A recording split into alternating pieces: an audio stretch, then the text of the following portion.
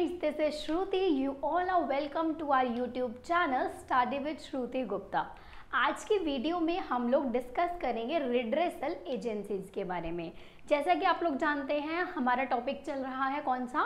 Consumer protection act उसी के अंदर ये आता है आपका एक टॉपिक जो कि क्या है? रिड्रेसल एजेंसीज मैंने आप लोगों को लास्ट टाइम बताया था कि जब भी कोई फ्रॉड हो जाता है आप जब कुछ भी सामान लेने जाते हैं उसमें, या फिर आपको कोई डिफेक्टिव गुड मिल जाता है, या कोई ऐसा गुड्स या सर्विसेज़ आपको मिल जाती हैं जिसमें कुछ भी आगे जाके कोई भी प्रॉब्लम होती है तो आप कहाँ जाते हैं? कंज्यूमर फोरम में। अब जो कंज्यूमर फोरम होती है, वो तीन तरीके से कैटेगराइज की हुई है। एक है डिस्ट्रिक्ट लेवल पर, एक स्टेट लेवल पर और एक नेशनल लेवल पर, ठीक है? तो अब आप खुद सोच सकते हैं, मान लीजिए आप सामान लेने गए पाँच हज़ार रुपये का, ठीक है?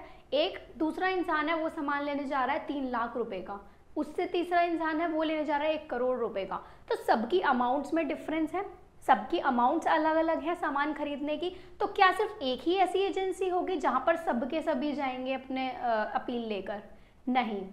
इसीलिए तीन वे में कैटेगराइज किया हुआ है, ये है हमारा डिस्ट्रिक्ट फोरम नेक्स्ट हमारा state commission and third one is national commission और इसके बाद भी एक आता है दैट इज़ सुप्रीम कोर्ट जो आप जानते हैं सबसे हाईएस्ट अथॉरिटी है इस वक्त।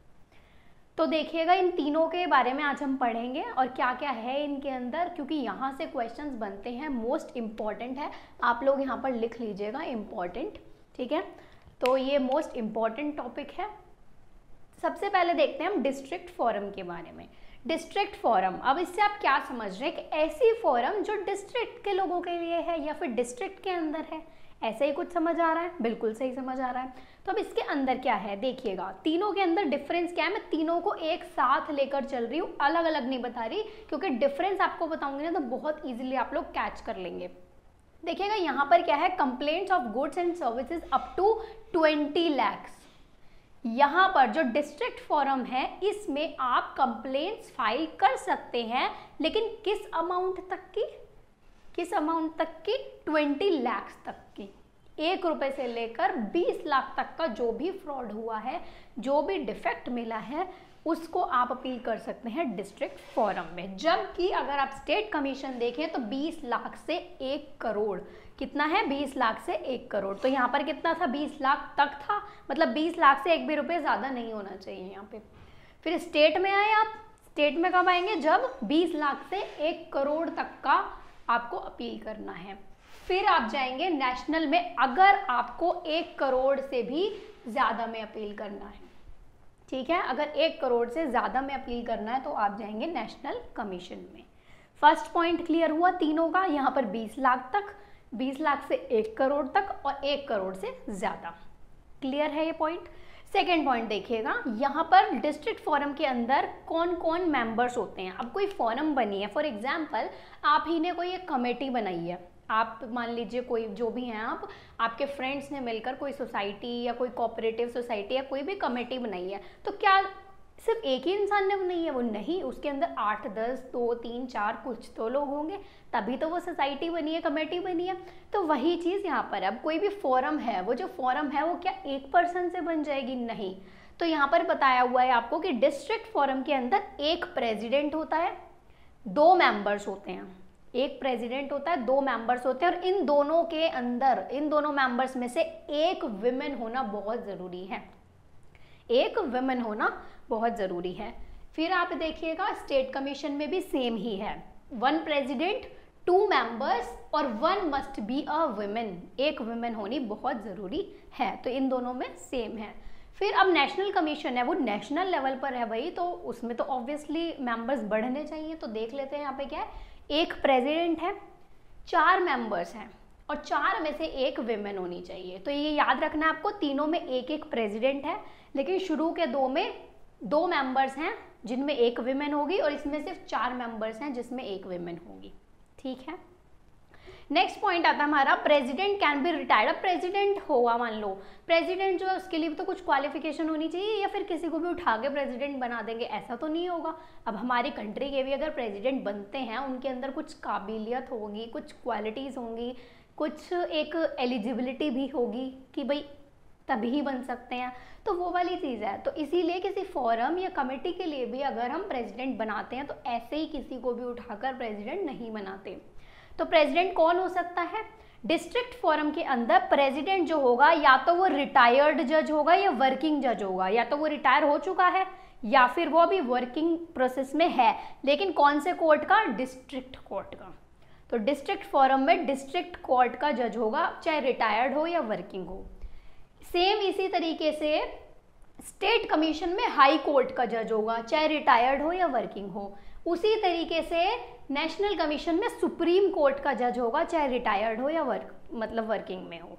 तो रिटायर्ड हो चाहे वर्किंग हो जज, इसके अंदर डिस्ट्रिक्ट कोर्ट का, इसमें हाई कोर्ट का और फिर उसमें सुप्रीम कोर्ट का। ऐसे आप असेंडिंग ऑर्डर में इसको याद रख सकते हैं। Next and the last point is a person can appeal against such order to state commission within thirty days अब ज़रूरी तो नहीं है कि मान लीजिए एक पर्सन यहाँ पर, मान लीजिए दस हज़ार का कुछ उसके साथ हुआ है फ्रॉड। वो दस हज़ार की अपनी अपील लेकर आ गया डिस्ट्रिक्ट फोरम में। अब डिस्ट्रिक्ट फोरम ने जो भी फैसला लिया तो ज़रूरी तो नहीं है ना कि हर इंसान उस फैसले से सहमत हो।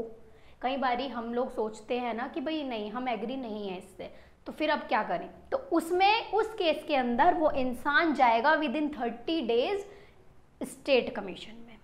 ठीक है? अगर वो डिस्ट्रिक्ट फोरम के जो डिसीज़न है, उससे एग्री नहीं करता है, नहीं सेटिस्फाई है तो वो जाएगा स्टेट कमीशन के अंदर विद इन थर्टी डेज़ ये याद रखना है तीनों के अंदर within thirty days thirty days के बाद अगर वो जाएगा तो कोई सुनवाई नहीं होगी तो विद इन थर्टी डेज़ वो जाएगा स्टेट कमीशन में। सेम पॉइंट अगर यहाँ हम देखें तो अगर मान लीजिए कोई इंसान स्टेट कमीशन से एग्री नहीं है, वो चाहता है कि नहीं भाई, मैं इस डिसीज़न से सहमत नहीं हूँ तो फिर वो थर्टी डेज़ के अंदर किसमें जाएगा? नेशनल कमीशन में।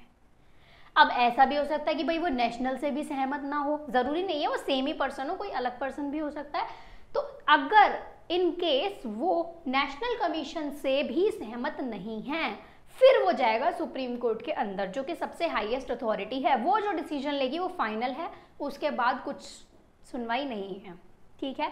लेकिन उसके लिए केस है। उसके लिए केस क्या है? वो बहुत ध्यान से सुनना। अब आपको समझ आया कि स्टेट कमीशन से नेशनल कमीशन में जाएँगे अगर वो सहमत नहीं है तो विद इन थर्टी डेज़ लेकिन यहाँ पर बोला हुआ है कि सुप्रीम कोर्ट के अंदर सिर्फ़ तब जाएँगे जब जब गुड्स जो हैं वो क्या है आपके? एक करोड़ से ज़्यादा के होंगे। अगर सिर्फ़ दस हज़ार वाला है, वो डिस्ट्रिक्ट में गया, चलो। एग्ज़ाम्पल दे के बताती हूँ। दस हज़ार का फ्रॉड हुआ किसी के साथ, वो डिस्ट्रिक्ट में गया, इससे सहमत नहीं है विद इन थर्टी डेज़ वो स्टेट में आ गया। अब वो इससे भी सहमत नहीं है, वो नेशनल में जाने की सोच रहा है तो क्या करेगा वो? सुप्रीम कोर्ट में आगे वो जा नहीं पाएगा। क्यों? क्योंकि उसकी अमाउंट एक करोड़ से ज़्यादा नहीं है, सिर्फ़ दस हज़ार की है। और अगर वो सुप्रीम कोर्ट तक जाता है दस हज़ार के लिए तो फिर वो उसकी बेवकूफ़ी है, क्योंकि उससे ज़्यादा तो वो ऑब्वियसली पैसे उसमें खर्च कर देगा, है ना? तो ये चीज़ है। ठीक है? बहुत इंटरेस्टिंग टॉपिक है और मुझे तो बहुत मज़ा आया आपको पढ़ाने में। मुझे बताना आप लोग कमेंट सेक्शन में कि आप लोगों को कैसा लगा? इंटरेस्ट आया और कुछ नॉलेज मिली या नहीं मिली? ठीक है तो ये था ओवरऑल आपका आज का रिड्रेसल एजेंसीज के बारे में। फिर मिलते हैं हम अपने नेक्स्ट वीडियो में। कोई भी डाउट है आपका तो आप मुझसे कमेंट सेक्शन में कमेंट करके पूछ सकते हैं। Bye bye